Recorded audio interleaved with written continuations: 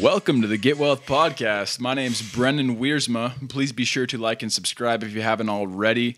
Slowly but steady, we're making our way up. We're around 50 subscribers now. I've been saying that in the last few episodes just to kind of keep a, a documentation of where we're at.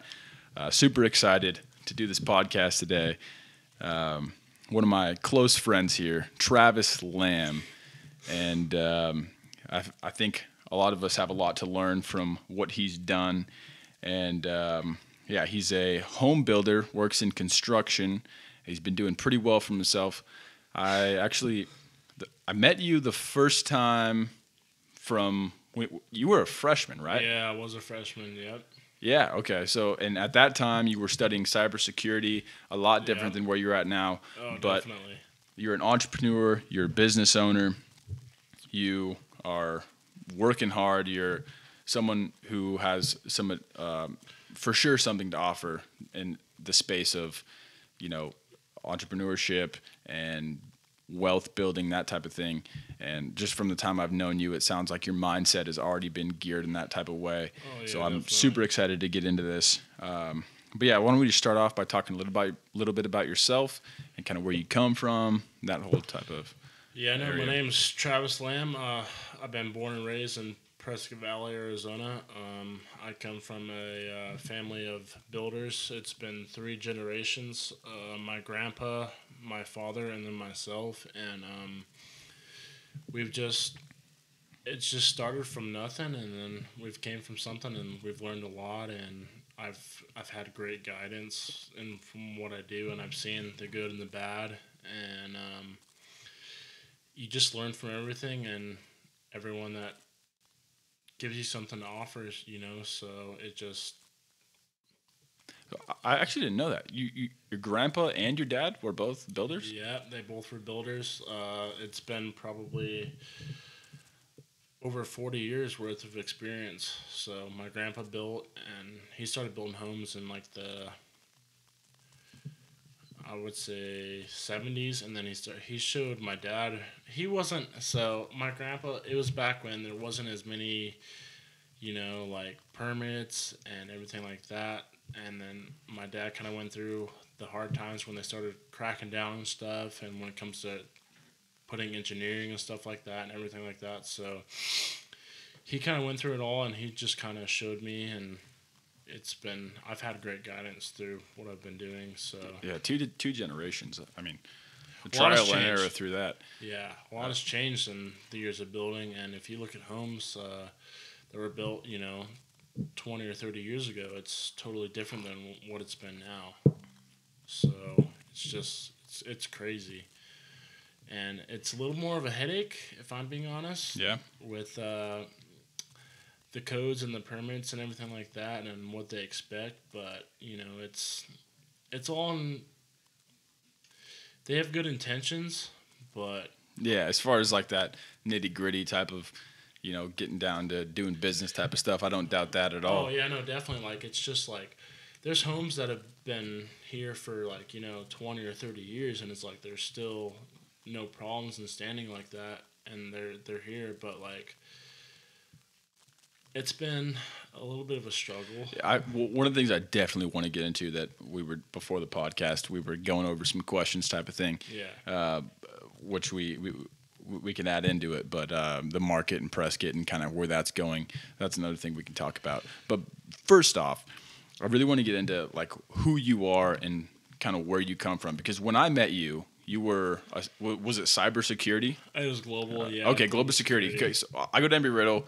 I'm a senior in the flight program. That's where I'm at, and I was a sophomore, or junior, doesn't matter. But I met you because this man's a baller. First off, that's kind of where the connection was made Yeah. uh, through the court. intramurals, through just playing basketball in open gym.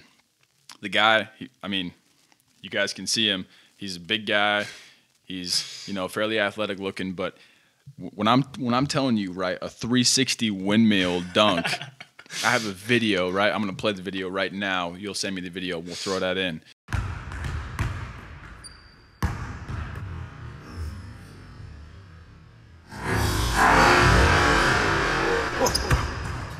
Let's do um, it. Right.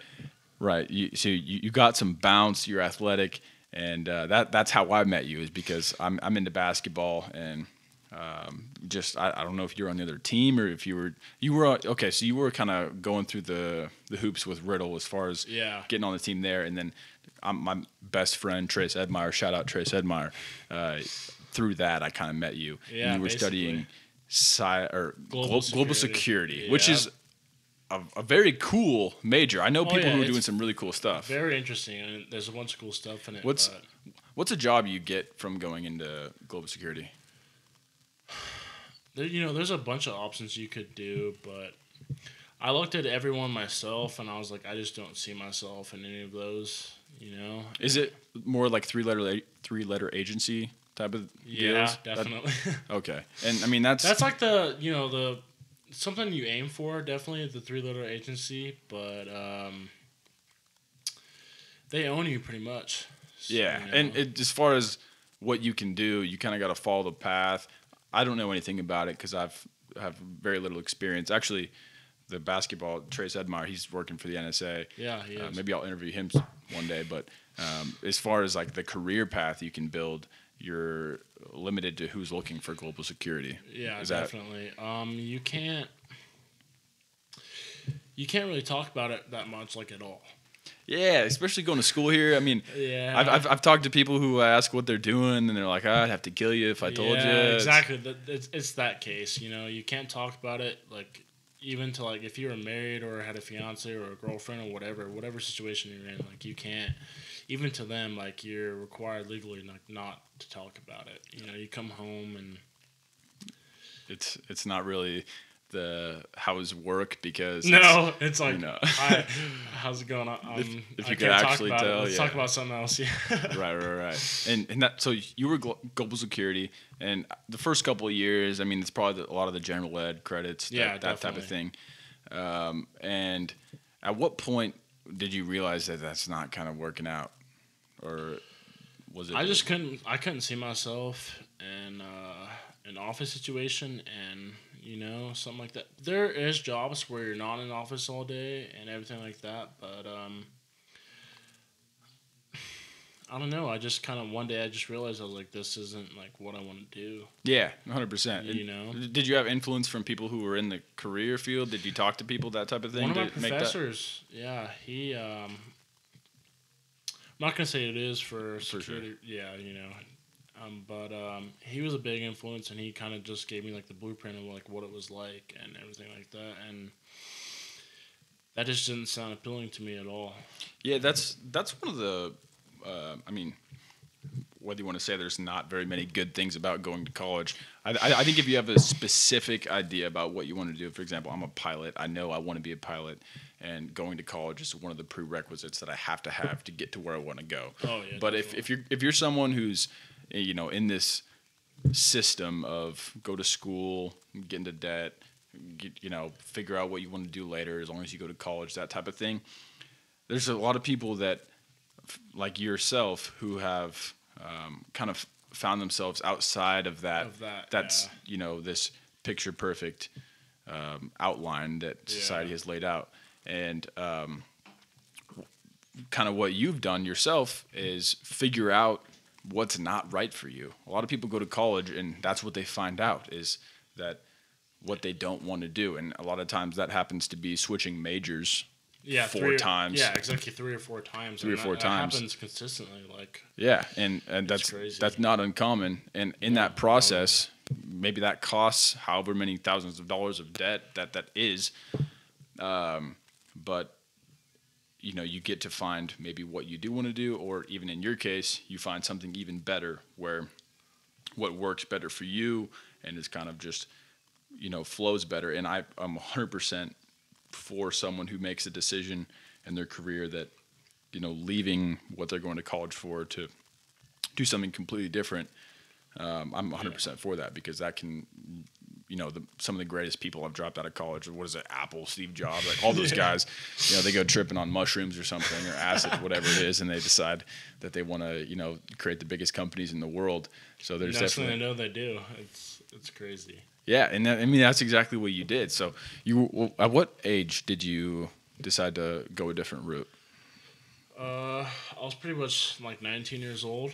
19 okay Yeah. and you're for the people watching right now we're, we're, we're gonna get into some stuff that's gonna it might make you feel a little bit in, in, insecure about what you're doing right now. I won't i won't lie.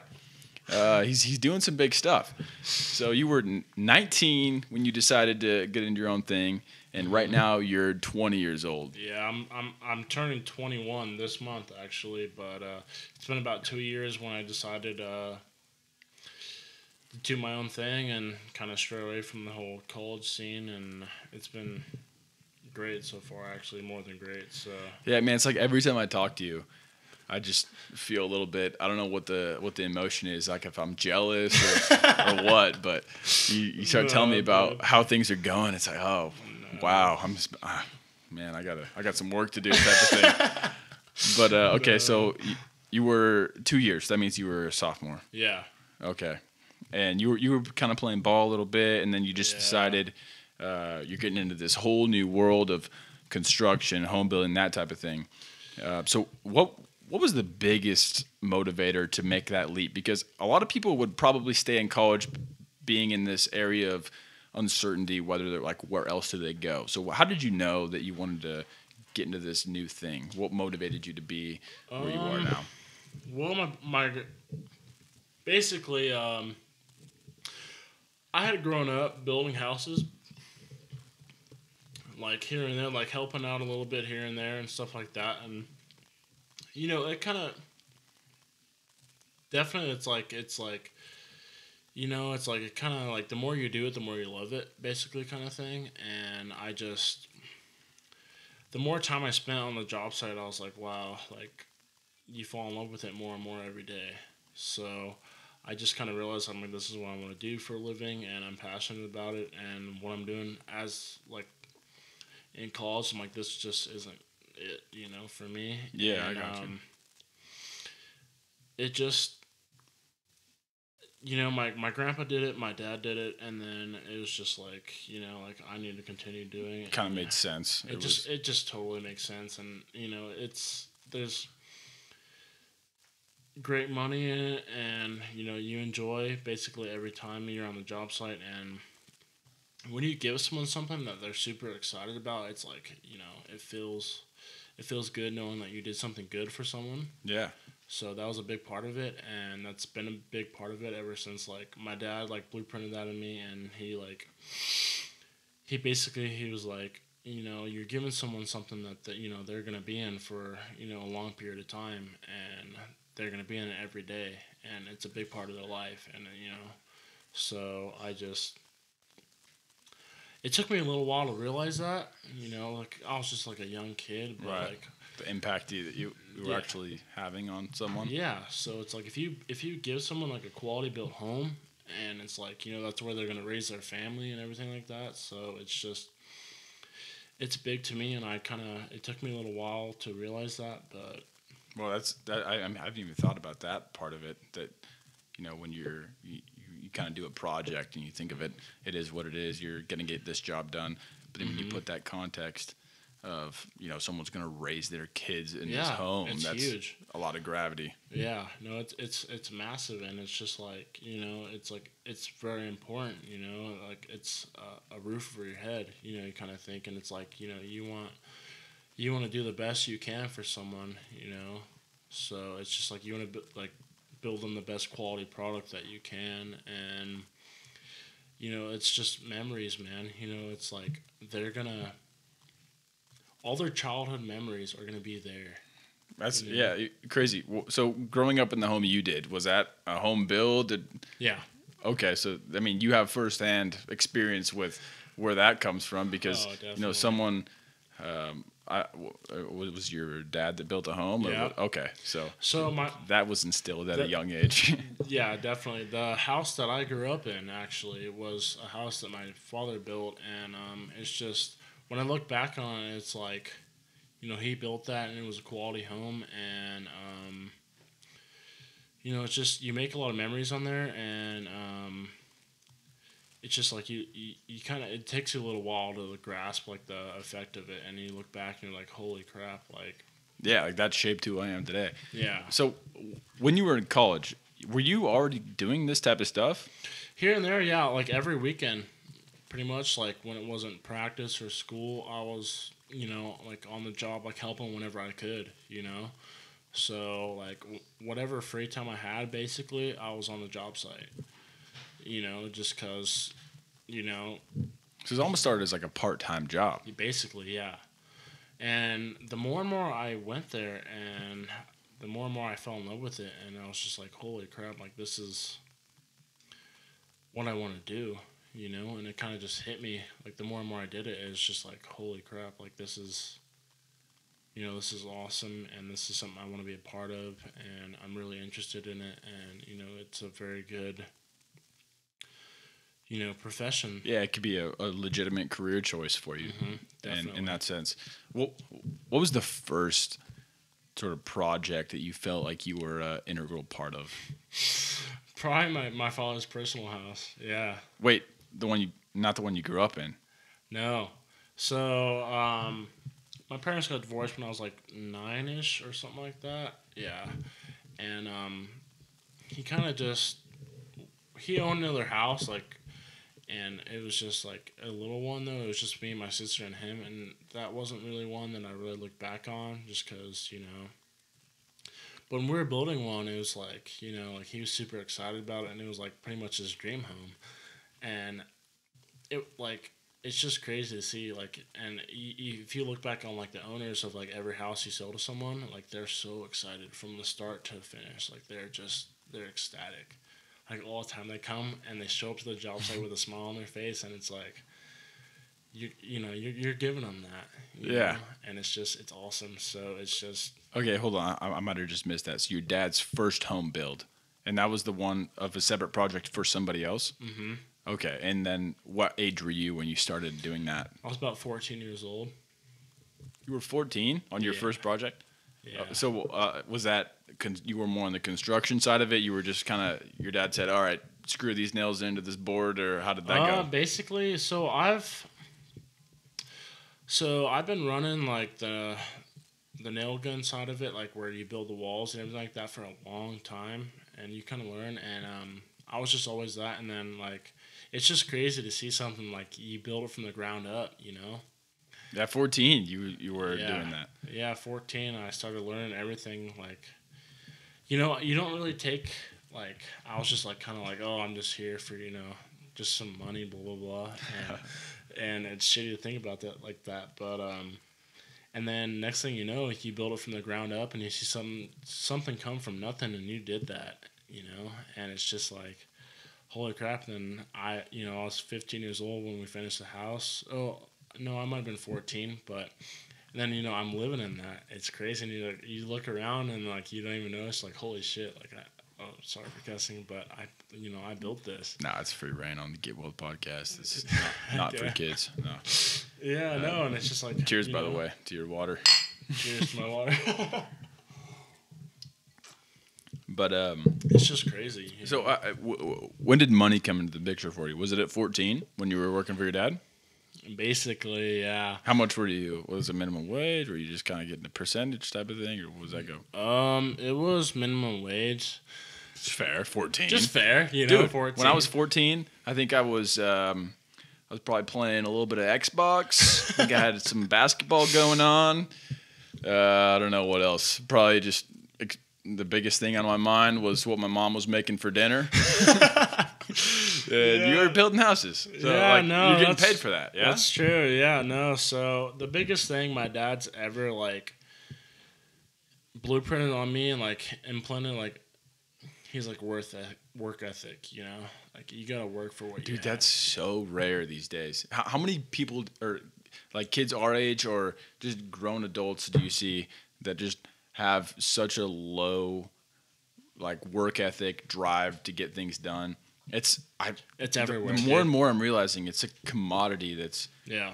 I don't know if it's overlooked, but people don't have that sort of like fire in their belly to just Literally, get shit done. The subs that I use, like they will like pay someone like very good money, and they're like, no one wants to work. Like my concrete guy, my drywall guy, my insulation guy, my air conditioning guy, like they're all like, no one wants to work. You know, That's so crazy because, it's it's nuts. dude, work is something that everybody has control over. You have to. You know, like It's there's life, sure there's know? McDonald's, whatever, like all these things that you can just do. You have this layout of what the minimum job is, and people can do that, and they Yeah, get paid minimum definitely. wage. But work, like getting your your fingernails dirty, like Yeah, just doing no, what no needs to be done, do it, dude. which is so crazy because it, anybody can. Like you're a perfect example. You're so young, and you can make a very good living just Yeah. having some sort of ability to you know do things that are uncomfortable. Yeah. So no, I, I, I, I mean, sorry to get off topic, but like no, no the fact that that's a huge um, privilege. I mean, that having parents that are that can, you know, put that in you at a young age. Yeah, no, definitely. Like it's just like honestly, growing up, my dad like that's the only thing I really, from a very young age, like he was always working, you know, and that was a big thing for him. He's he was he was a workaholic. What, what's your dad's name? Billy. Billy Billy Lamb. Good job. um, all right, so minimum wage. What is that here? It's like eleven bucks an hour or something like that. 11 or 12, yeah, but back then when I was like 14, I think it was like 10 or something like that. Okay. You So, know, and I was 14 years old though, dude, dude. That's I was playing I was in middle school, dude. or, or no, 14 to 15, whatever, Yeah. high school, but no one's thinking about working. So no. that's that's something on itself. I mean, itself. honestly, neither did I. But he just he got me out there, and that's what I did on my weekends, my free time. Like even honestly, like I played basketball my whole life, and it just like right after practice, like I would just go over there to whatever job site he was on and start working, you know. And it just, you know, it's work work ethic is huge nowadays. It just it separates the people from success and not success. Yeah, I mean that that's something I'm so grateful for, and I'm realizing that every day now. He- My dad, he's set an example, and that's such a uh, a, a paramount thing in someone growing up. Because I would see my dad, you know, he, we would have all these animals, right? We as kids, we'd we want to have all the animals, the dogs, the goats, the horses, Everything, and yeah. it's oh, it's so fun to have the animals, but then.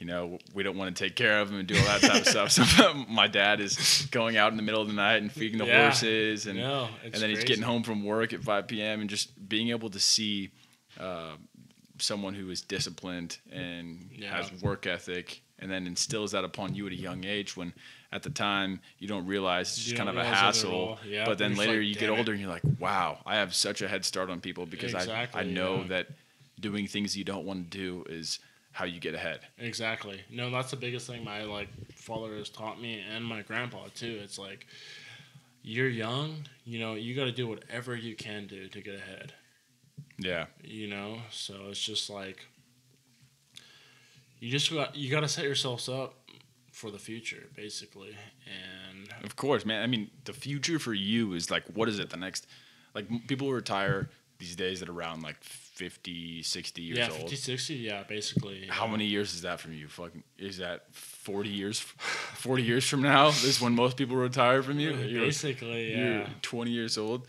That's insane. All right, so you're 14 years old. You're making $10 an hour. You're, you know, you're, you're working hard. Um, and then you eventually get to college amongst playing sports and all that other stuff in between. Yep. So when you decide, like, what what decided for you to go full board into this? Is it, you know, you decided that school wasn't an option, so then that just kind of changed your mind? basically it was just you know like i was there and it was just like i think there was one point i think my freshman year like everyone was like oh let's go blah blah, do this or do that and i was just like if i'm being honest like i don't think i can afford that you know it was no bs like probably going out and i think we are going somewhere like we are going to eat somewhere. And it was like not super fancy but like just like mediocre. And i was like i don't think i can afford that right now. And i was like what am i doing? You know? Yeah. Okay. and i was just like You're like, I can't afford this cheeseburger. Basically. and I was like, "What the hell?" I'm like, "Screw!" I'm like, "Screw this shit!" Like, I'm, I'll go out there and and you know that's the biggest thing about, you know, working hard and coming from basically a blue collar blue collar family is just like, you gotta put in the hours.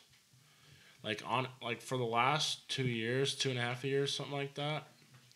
Like I've worked like sixty hours a week. No BS, six days a week, like ten hour days, and sometimes seven days a week, and it's just like, it's nuts. And you're you're a business owner right now. Yep. Right. So, I mean, we're we're kind of teasing the listener right now, but uh, the what what we're getting to is you're a business owner and you build homes for people that you know you eventually sell, and Mm-hmm. we're we're gonna get into all that.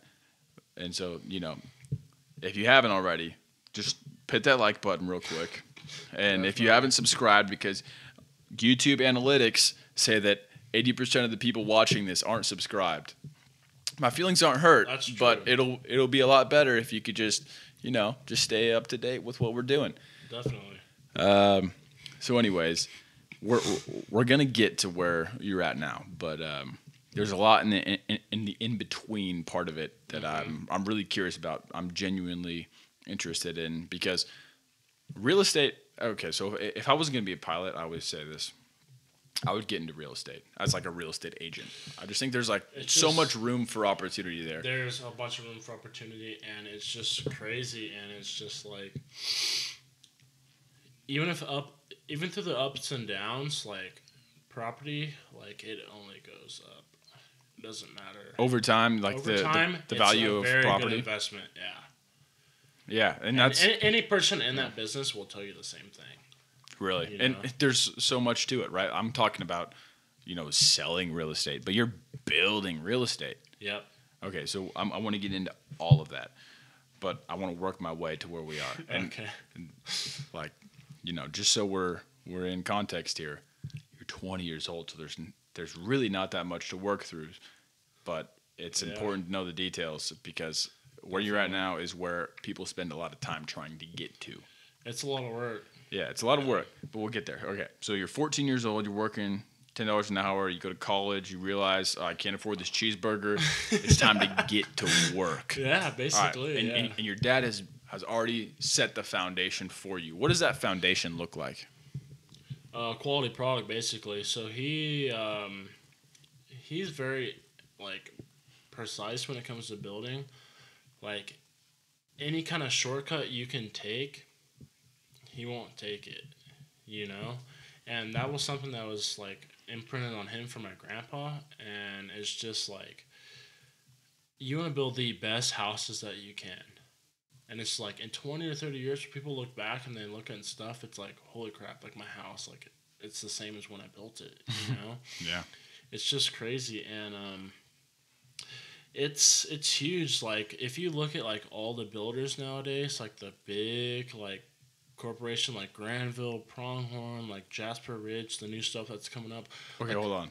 Granville, homes. Pronghorn. Are, are these like areas that are being developed? Yeah, yeah. Do people? Do, does one person build on that area, or what kind of?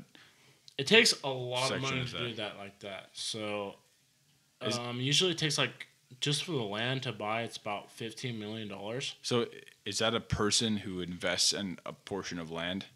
Um, usually it's about like at least three to five people. Like, so there's someone who has like the general idea of it, and they usually get like three to four more like investors just for like let's say they're charging 10% interest but they use their money to make money it takes money to make like make money in construction you know so granville's huge like it's been huge for a while It's blowing up from It's what I've up. like everywhere. I, like w- w- so when I'm doing my research on the market right now in real estate, Granville is, you know, there's people in a hurry to live there. It's you're on a waiting list to buy a house People there. buy a house and then they live in it a year later. Yeah, it's just it's just crazy. But honestly, if like if you look at their homes, it's just like that house that you're living in gets framed in like a week. Really? A week. Yep. No BS. It's a So I. I mean, There's a crew about ten guys. I don't want to say like my job is in comparison to yours, but I deliver groceries, right? Yeah. So I've seen the area of Prescott, Arizona. I deliver Yeah. grocery to all these houses, and I'll, I'll go to Granville, and every time there's the neighbors or their houses being built. You're telling me that's a week long thing? It's well, just for framing, basically. So framing is like the most important part because it sets it, it sets like the foundation for everything else that comes with like drywall, like electrical, like plumbing, like everything like that, and stucco and roofing and everything like that. And it just it all comes into like.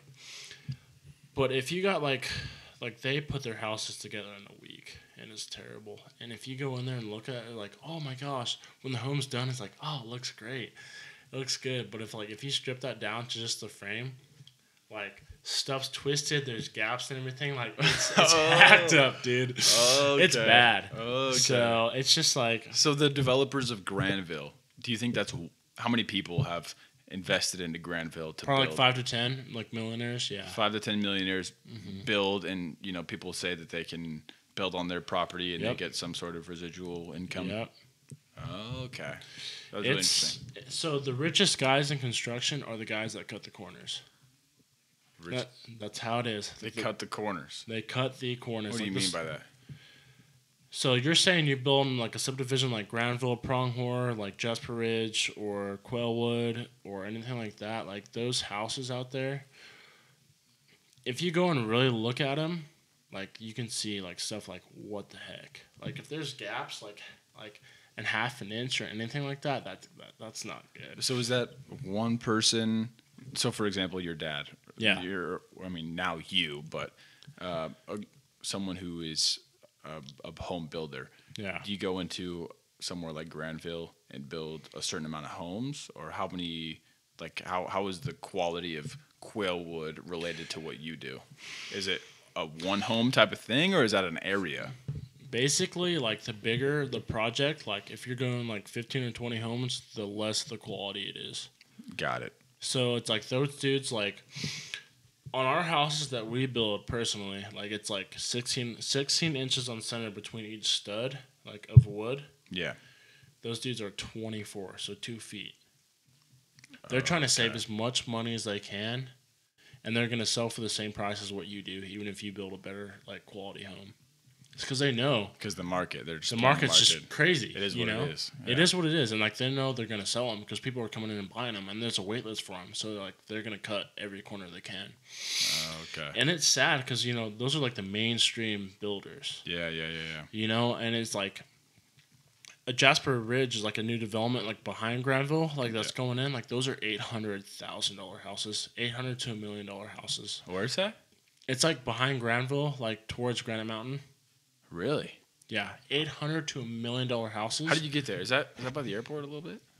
Uh no. So like you know like on Glassford when you're driving down that road and you see like the Granville. Yeah. So if you turn on uh what's that road called? It's like the road that goes to the high school and the one after that. If you turn on that road and you go back there and deep, that's Jasper Ridge.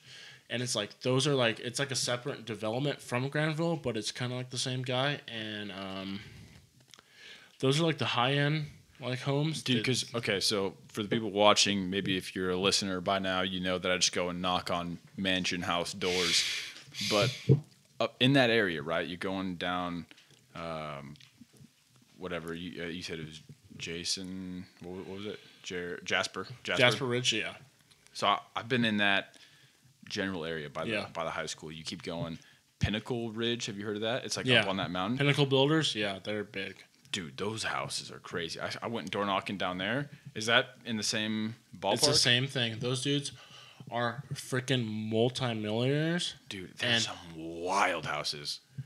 That's the thing. I've though. knocked on most of those doors. If you look at most of those doors, like if you went to a house like when it's framed, you'd see stuff that's like really hacked up, and it's sad. Really? Like the like the highest, like they're, they're charged like eight hundred to like a million dollars the house. There's some multi-million dollar houses up on that hill, P- Pinnacle Ridge, and then there's Yep. also Yagashapa, whatever Yeah, it is. yeah, exactly. Y- Yakashapa. You know what I'm talking about? yeah, There's a 3.5 million dollar house in there. There's a couple million on each side of it.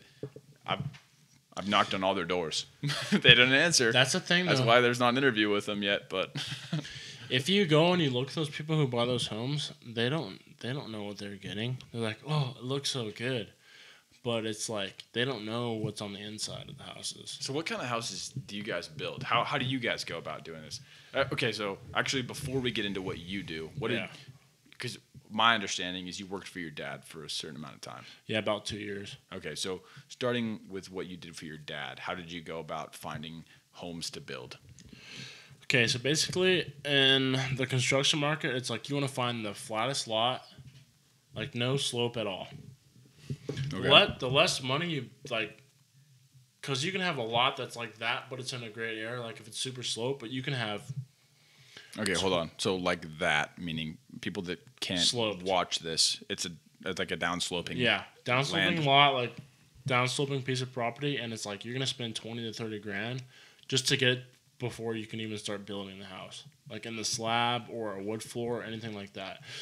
And it's like you're asking for problems because you know like it's sloping and it's only going to get worse like there's a lot of clay in the lot or in the foundation and it's just you know it, it's just it only goes up from there For sure, for sure. Okay. And real quick, Harrison, can you check the video, make sure it's still going? Wait, I mean, I'm not gonna edit this out because the Get Wealth podcast. It is what it is, baby. it but is what it is Is this still recording? Uh, for sure, Yeah. All right. All right, we're cool. We're leaving that in. But uh, oh, CJ's there too. I didn't even see him. He's laying down. yeah. Good in the mic.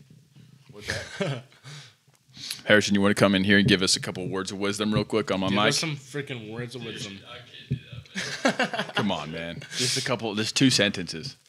Sure. Yeah, just right Do here. it, it's dude. it's coming in. It's we're leaving it in. what's the, like the single most thing of advice that you would give someone The Way of the Superior Man by David Deida. Check it, check it out. The Way of the Superior Man by David Deida. All right. oh shit You heard it first. Harrison rocked. All right. Sorry to side rail what you were talking about because we were we were getting into some good stuff. But um, so what you guys do is what? basically it's like we don't cut corners you know we do everything right and how it's supposed to be Okay. So uh, you you were talking about um, Jasper Ridge. Jasper Ridge, like those houses are eight hundred to a million dollar houses, and they might be some of the worst built houses you've ever seen. How, how do you guys decide where to build? Because that's the area where people go when luxury homes or in Prescott area. Where do you guys go? See, the problem is right now is people are flocking over from every kind of state and which what, and they're like, "Oh my god, it looks so good! Like I, I want to buy it. Like it's landscaped and there's sidewalks, blah blah blah, this that." And it's like, you don't know what's on the inside of the house. You know, it's like. So just for example, like my mom's friend, she's buying a house in Jasper Ridge right now. Okay. like, she's paying like seven hundred and eighty thousand dollars for a house. That's a that- pretty penny. That's a pretty penny for sure. And the most basic thing in framing or construction and building a house, it's like, okay, you don't want any gaps anywhere. So just like the easiest thing you can do is like on the top plate of like a wall. So it's like you got a two by six wall, and it's like you want it to be like tight. Okay. Well, hold on. Just to break down, two by six wall. Okay, like a two by six piece of wood. Okay. That what's that's what makes up an exterior wall. Okay. Okay, so on the tops of those, like on the top plate, you'll look. It's supposed to be tight like this. Like there's not supposed to be like any gap at all. All right. There's like a half inch gap. And that's just that's just sloppy, right? That's sloppy as it can be. Alright. Everything about that, like tying the walls together, like the biggest, like it's one of the biggest things in construction. And it's like you want to keep your house tight, and you know it's stable, and it's not going to go anywhere, and everything like that. But like literally, they'll an eight hundred thousand dollar house, or like I'm sure they're even doing like million dollar homes there. Like there'll be a half inch gap on the top plate, and like they're doing single top plate, which isn't like good at all. Mm-hmm. Like there'll be like the top, like the just the header, Yeah. and then above that where the trusses sit, so like where your roof, like where it goes like this, like at triangles or whatever. What those trusses are sitting on, which is a lot of weight, is a block about like six to eight inches. Okay. We don't do that. It's all like the same everywhere. Like it's double top plate. Like it's gonna be weight. Just like the weight will de- be distributed equally throughout the house. Got it. Okay. Yeah. Which is, I imagine, for longevity is a something crucial, right? People It's probably pay more in the long run if they're living in a house based on of, you know, the foundation of a home. They There's- don't. They don't do it now. People just come in and they.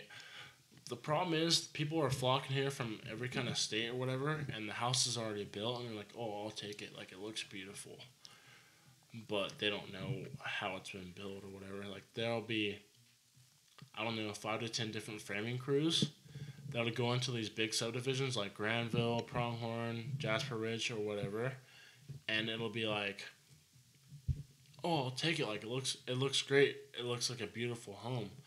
But it's not built good at all. That's crazy because most people are just gonna give whatever the real estate tells them to. Real estate agent recommends. Well, here's the problem with the real estate agent. It's just because, in reality, the real estate agent, like the bigger the house, they're like they know they're gonna make some money. You know, they're making eight to ten percent on that whatever the house sells for. Dude, knowing what you know now, are you tempted to get your real estate agent license because that's like five hundred bucks? It's more than that. So basically, you make twenty grand extra, whatever you make, on top of like building a home and like being a general contractor. Like you make twenty grand extra. Okay, yeah. So what I'm saying is like to get your real estate agent license to take the test, you know, to be have Mm-hmm. Yeah, the license, it yeah. costs like five hundred bucks. Yeah. But knowing what you know about the market and what the the build of the home is actually, you know, made of, Yeah. how are you? Have you considered becoming a real estate agent just for the fact of buying your own home and getting a commission off of it? Yeah, I have, but um, it just adds a lot more headache on it. Yeah. you know, it's Yeah, for a sure. lot more stress. What is like hundred hours of like online work to pass the test type of thing? There's so much paperwork. Okay, just to get to the test to get there, it's like I've seen it because my dad has his real estate license, and it is a freaking hassle just to get there before you even start making money. yeah, yeah, yeah. and it's like it's crazy how much they have to deal with and it's just like but in reality like the most realtors out there they're gonna say whatever they can to get you to buy that home it doesn't matter if it's, it's the worst built home or the best built home they're gonna say whatever they can Whatever it takes to get Wha- the whatever it takes to get you market. yeah house off the market to like to get a paycheck it's just That's crazy. it's just kind of how it is All right, so now let's now let's kind of go. Let's transition to how you have become a business owner, entrepreneur of your own home building business. It sounds like your dad has kind of shown you the ropes of what it takes, but now you're you're your own thing. You're 20 Yeah. years old. You're making what like what are you pulling right now? Uh, the last two years I've pulled about 94 and above a year. If you're watching this, you're slacking. That's what I'm saying right now. Maybe not, but that's It's a lot of work though. as a If 20 year old. it's good for my age, but it doesn't matter what age you are. It's just, it's it comes with a lot of responsibility. All right, so everyone that's watching right now, they're either upset, they're mad, they're you know they're taking it out on their Do kids. do you want to know how how much it takes to get there though? Yeah, how much?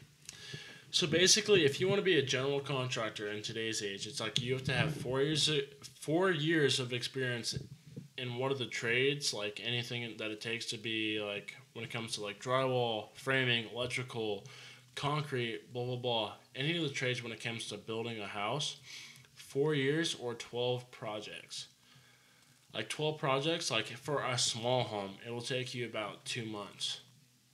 So it takes a while, but but for like a big home, like a two thousand square foot and up, it's gonna take you four to five months, easy. To get the project done is what you're talking Done, done and closed. So you Got get the check. All right, so we're we're backing up. There's a lot of people that don't know how we even start to build a home, right? You're, Yeah. I mean, you know a lot for where you're at right now. A lot of people know nothing, absolutely zilch. All right. Yeah. So how did you transition to becoming your own business owner? I started out as a framer.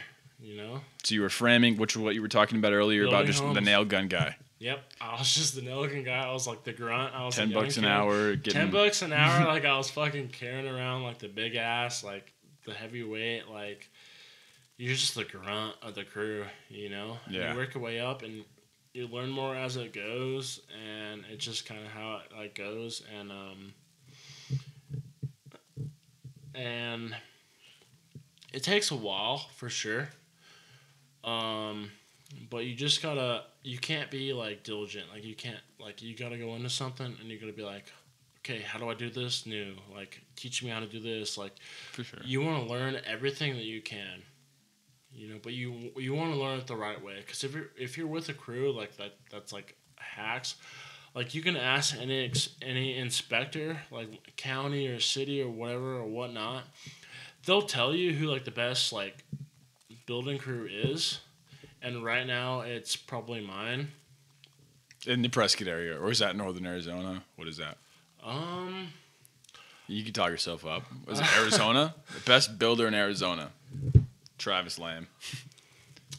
definitely like when it comes to like uh, small slash custom homes probably for sure but when it comes to like the build the big build homes like i'm sure there's a lot of great crews out there but right now it's just like you go around and you look at the million dollar homes it's like those dudes are hacking it up Yeah, if you want to get your the most bang for your buck, in other words, and you're looking for just a an average home build, people the quality you get for the what you're paying for, you feel like is probably So- unparalleled. Yeah, no, unparalleled for sure. And it's like, so the more affordable do you go, like when it comes to like, so basically now for a home in Arizona or anywhere, well, actually depends on the market, but um, in Arizona right now, affordable is three hundred thousand dollars.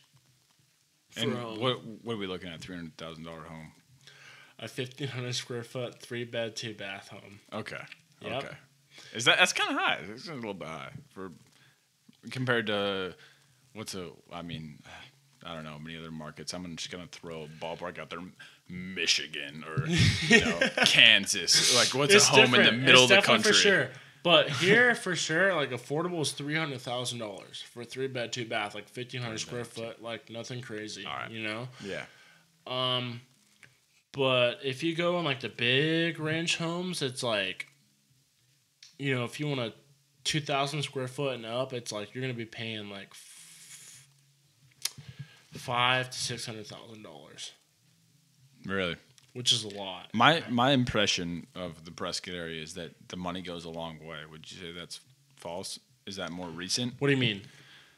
All right. So when I when I first came to Prescott, Arizona, I would What year was that? uh, 2017, 2016. Mm-hmm. I would be looking on the you know the real estate websites, Zillow, that type of thing, and you look at the It nice was. homes, and it's like, oh, that's only that's only five hundred thousand Yeah, dollars. no, it's gone way up since then. Is That's- that because those like Prescott, Arizona? Yeah, everything. Prescott, Arizona, right now is in like the top ten percent of the nation for right now for most desired places to live. Really? Yep. Because no, our it air's is. the cleanest. air's our the air's cleanest. We got sunshine seventy percent of the year. Like it's just it's golden. You know. Phoenix, you just you can't go outside with. Oh, you can't go outside in the summer. No way. It's like you want to go shoot hoops or throw a football or Not a blah blah blah. Not if you're. Not in the summer. Nope. That's crazy. It's okay. nuts, dude. So All right, so I, I want to get into the nitty gritty, like right the the the bare bones of what it takes to do what you do, right? So when you when you're looking at a a area, or, or land, or Mm-hmm. a property, how does it take to first first of all build upon that? Do you need some sort of investment? Do you need do you put the money down? How does that work? And how do you build a project? You know, I'm a 20 year old. Like, you know, I don't have like crazy like three or four hundred grand to put down all of it. Like, but when it comes to general contracting, it's like if you pay for the lot, you can find investors. Got it. What, so break that down for me. Private investors, it's like they pay less. Like you can use their money. You you you, you buy the lot flat out, like you own the lot. So what's a lot? What, what do you mean a lot? like a property? Okay, so how many? Okay, so you buy this area of land, and how Mm-hmm. much is that usually up front? Right now, it's about I don't know, forty to eighty grand. All right, so you put down forty to eighty grand, right? That that's what you do. Mm-hmm. Yep. And then where does the investor come in from there? The investor comes in as he pays for like the the cost to build the house, Got and you pay ten percent on whatever it is. Oh, so if it's okay. like you, so let's say forty to eighty grand, whatever. But the cost to build the house, like it's gonna be about two hundred plus. Got it. Okay, that makes a lot of sense to me now. I didn't know any of that. Yeah. So basically, he's gonna give you draws, like you know, fifty grand here, seventy grand here, blah blah blah for concrete or framing, electrical, drywall, like stucco, roofing, like floors or granite countertops or appliances, blah blah blah, Got it. and you're gonna pay ten percent on, you know, whatever that is. It doesn't matter if you're building a twelve hundred square foot house or a five thousand square foot house. You're gonna pay ten percent on whatever that is. You're gonna pay ten percent on whatever he's gonna be putting into the Mm-hmm. the home. But either way, like basically now it's like I just I just built and sold a spec. Like it costed us like I don't know one ninety five to build. Wait, hold on. Wait. dude, I have to take a piss. So bad. You gotta take a piss. All right. Can I go? Yeah, go for it. No worries. Holy shit. It's still recording. I just had to make sure. All right. So we're gonna pick back up. Maybe this might be cut out. You might not hear this because I'm a, I'm an editing guru and I put in what I want to. But so far we're on one cut and that video hasn't stopped, right? All right. So we're still going. Where were we at? Uh, so I was just telling the people about uh, the process that you go through, right? You buy the lot, typically around 40 grand or whatever it is. Forty And to eighty, yeah. 40 to 80, okay.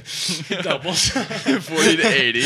And, uh, and then you have some investor that comes into the picture and sponsors the build or, you know, decides that they want to build a home here because they eventually think that they're going to get Yeah. some sort of profit so from it. basically, they're gonna get uh, ten percent, ten to twelve percent on whatever the money they put up for. Got it. So usually they're multi-millionaires. Like you know, they're just fucking throwing money and it's Right. it's crazy. So it's like, but after at the end of the day, when you pay whatever the ten or twelve or fifteen percent it is, it's like you're still making about fifty to sixty, sometimes seventy grand a house. That's That- for a small one. That's what you take home. yeah. Woo! All right, hold on. We got to back that up. All right, you you make ten percent of whatever they put down. No, Sorry, they make ten percent of whatever they. They make ten percent of whatever they put down, and where do you come into that? So basically, so I just built a spec and Got it. just closed uh, Friday. Got it. Yeah, You so, just closed the build Friday, is what Yeah. you're saying. So we had a hundred and ninety ninety two thousand in it, and we sold it for two sixty two. Congratulations, bro. You got anything in there? Nothing. I gotta get you some more water. You're not in a time crunch at all, right? No, not at all. All right, cool.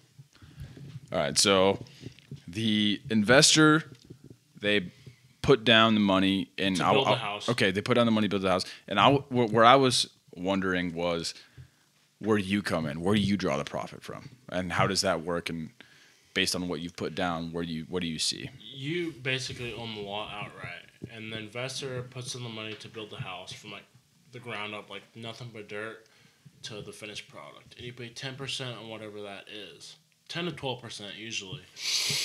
And usually, what it comes out is, uh, like I, for example, I just built a house for one ninety four. We just sold it for two sixty two. You you personally put in 194, or you plus the investor? So I put I bought the lot, and I have a private investor, is what they call it, and um, he put down the money to build the house, Got it. and uh, I paid him the ten percent, which is what we have a deal on, and which is you know he made twenty grand off of just Just He's- investing. just investing. That's it. Yeah. The rest is all mine, and I made about sixty thousand dollars off of uh, two months worth of work and uh, two and a half, Two and a half. two and a half, yeah. And I do about three of those a year. So, but basically, so when I say ninety four, that's what I. I don't know if I should be saying this, but that's what I like show on my taxes. But whatever I make, usually I roll into the next one. You know, Okay. saves on taxes. I got you. You don't need to say anymore. I 100% Yeah, yeah, understand. You, you know what I'm saying? Yeah. Yep. All right. That's that's nice. Basically, okay. you, So you it sound, reinvest in yourself. so it, it's you keep putting the money that you make into the business, other than enough to, well, more than enough to get yourself, Yeah, yeah, know, comfortably. I got you. I got you. Yeah. Uh, okay. So it sounds like the key factor here is finding someone to invest? That sounds like the most challenging part. Uh, maybe not challenging on your end, but as far as someone from the outside looking in, that's the key piece that's holding someone back from doing this is having an investor. Yeah, that's a big thing. You can go through the bank, which is a little bit more money, but either way, you're gonna get it no matter what. Or you can go for someone that's so a, a construction loan's about I don't know, fifteen to twenty percent right now. And it's like Fifteen percent, fifteen to twenty percent of what? what they put up for the cost to build the house. Okay, so what the construction is fifteen percent of whatever the the person Cost who's to investing is. yeah. Okay. So, but if you have a private investor, which is like you know they got money to just fucking throw out basically, and they're they'll charge like ten percent. So like one ninety four, it's like they made nineteen thousand dollars, four hundred dollars off of doing jack shit. Yeah. They threw their money in, and like you know, at the end of the day, you pay them, and they're like, they're happy, like oh shit, you know, twenty grand, like no problem, and it's like. Must be nice. Nice man. Here you go. I'll take the sixty. and um, that's basically how it goes. And you just gotta find the right people. And it doesn't matter either construction loan or private investor. You're still gonna be making good money on any house. Okay, so what what I want to know because me wanting to do this someday, Mm-hmm. being having absolutely zero knowledge in any of this, right? Like probably most people, unless that you are watching this and you do, then you can just turn it off and go subscribe to another YouTube channel.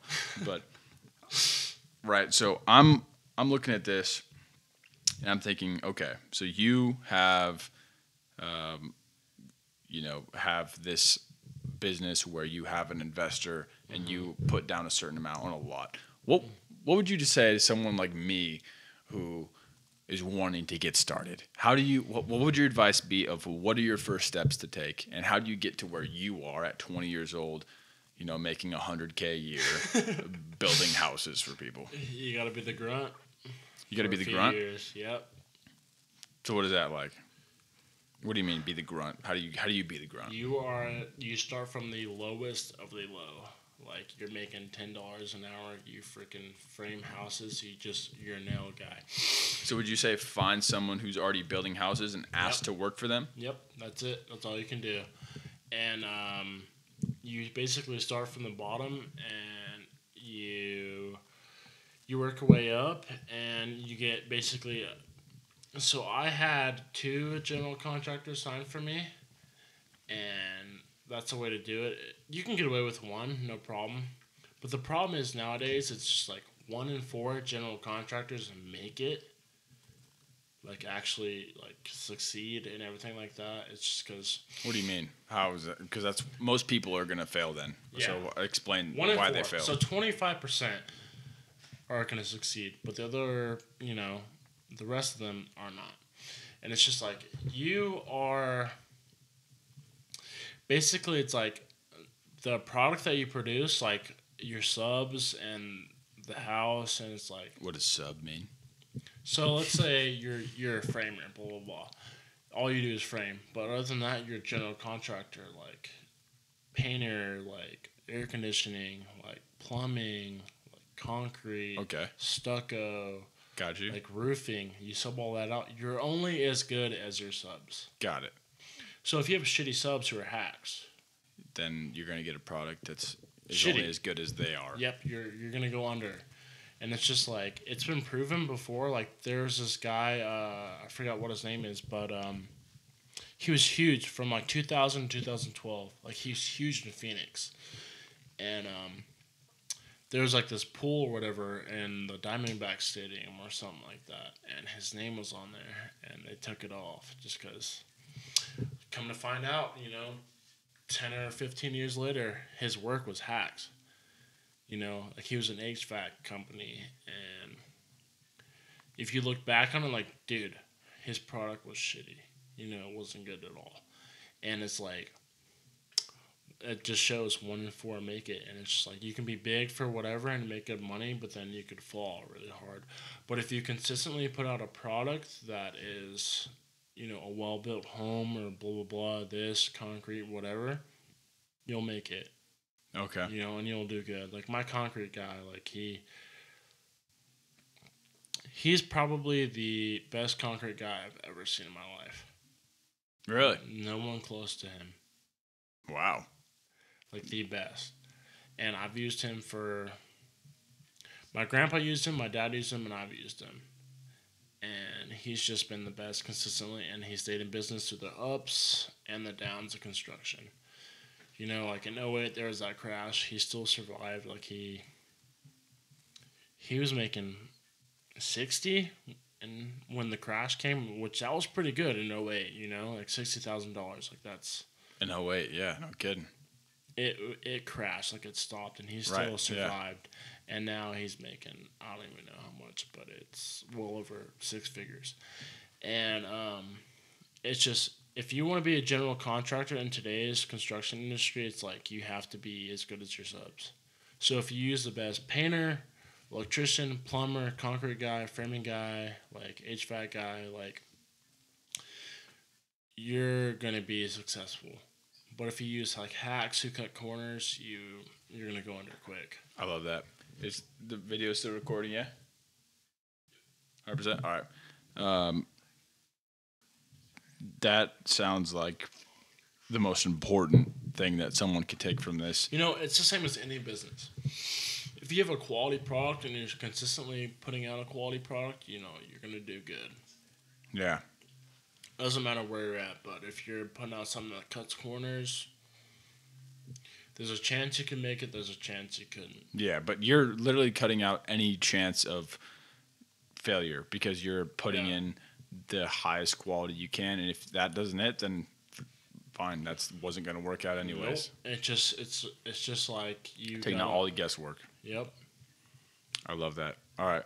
Um, so I I really want to put into concrete here someone looking from the outside in about how they can, um, like if if you were to give like a a ten step pro, five to ten step process of someone starting from zero to doing what you are now. Yeah. Okay, so basically it's like you gotta start from the bottom. You gotta start from making minimum wage, doing whatever in whatever trade you are, and you gotta work your way up. Learn as much as you can. And it's just like you gotta get the most experience you can in whatever trade you're in. And it's like you gotta test for your general contractor's license and it's like you gotta know like you're doing stuff right the right way and like I said, one in four make it. So if you, if you have someone that like it's been proven like they've been in it for a long time and they know what they're doing, like you can't cut corners in mm-hmm. this industry. Like if you do, like you know, some builders have gotten away with it, like Granville, like all the big stuff like that. That's just. That's basically because people come in, they buy homes, like oh, it looks good, like blah blah blah, like mm-hmm. it's you know got landscape, like it's got sidewalks, like it's a subdivision, like I, I like it, like it's Yeah. you know clean cut, like blah blah blah, but they don't know like at all Right. what, what's built. They're just a regular person trying to buy a home. Sight unseen, regular person trying to buy a home, they have nothing, they have no idea what they're looking at, Yeah. you know. But you basically just have to start from the bottom and work your way up. Okay. So that's what it is. What, what about getting an investor? So when you work your way up, like in any industry, you know, it doesn't matter what trade you're in, concrete, electrical, blah blah blah, whatever it is, you'll find investors. Really? There's yeah, in the construction business, there's always going to be investors. It doesn't matter if they're, you know, multimillionaires or you know they got about a hundred grand to play with, blah blah blah. Like it's just you'll find investors. Oh, okay. That's So, news like- to me. me myself like i have an investor like like they they want me to put in like they want me to borrow like a million dollars but i won't do that just because you know it's sketchy like that's a million dollars That's a milli right there. yeah Yeah. a fucking million it's like that's that's a lot of money Yeah, that's scary. That's a scary amount of money. But if you do like just enough, like three to four hundred thousand dollars, and you invest in that, and your interest a month, it'll be about um about as much as a mortgage, so like eighteen to two thousand dollars a month, but you'll be making way more than that. Based off of the product, if you're building a home, yeah, A quality home, yeah. right. So if you look at like all the big subdivisions, like anything like that, like, those dudes have borrowed like tens of millions of dollars. That's insane. Borrowing any money to me just sounds very scary. It's it's it's a lot of stress, you know, and then like no BS. Like I've been in a lot of stress, and like I'm like you know like a small business owner, like, but I do pretty decent, and um, like I've borrowed like two hundred to three hundred thousand dollars consistently every month. Like I have to pay that interest, like ten percent, like twenty grand a month, and it's it's a lot. But I mean, what you're making off of it, it- it's It's worth it for sure, but like decision. here's here's what I can say. Like, if I'm being honest, like any if you want to be a business owner and if you want to be successful, it's like without any risk, there's not gonna be any reward. Yeah, I, I love that. It takes money to make money. Mm-hmm. You know, any business owner will say that. All right. So as as far as what you've been uh, dabbling in so far, I've personally rode in your turbo diesel truck. Right. How have you spent your money? How what kind of advice would you give to someone managing their money as a business owner as far as financing things? You've had some experience with debt. How, Yeah. how have you personally been uh, managing that responsibility? If I'm being honest, you got to reinvest in yourself and in the business. You know, it's okay to take, you know, blah, blah, blah, this amount of money and this amount of money for yourself and your hobbies and everything like that because it's like work can't consume your life. If work just consumes your life and that's all it is, you'll never be happy. But if you have hobbies and like that, like I go to the sand dunes, like I have a, a truck, a side by side, a toy hauler, like a dirt bike, like that's what I spend my money on and you know, I enjoy it a lot, but it doesn't matter what your hobby is, but if you just mainly invest your money back into the company, you're going to be successful. But if you just take money out of it and whatever you make, you put back into like, oh, blah, blah, this, like I have to have this, like nice and nice, this and that. And it's just like, you're, you're gambling for sure Yeah. you know, and you, you got to reinvest in the company because then that it'll only go up. You know, it mm-hmm. doesn't matter what the economy's like, ups and downs, it'll only go up. You Travis Lamb, thank you very much, baby. We did it. We did it. Yes, sir.